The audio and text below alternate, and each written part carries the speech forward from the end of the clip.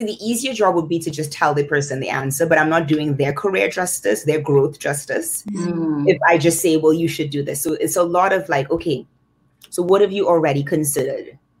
All because I want to coach them to be better and I want to prepare them to like take my job one day. Um,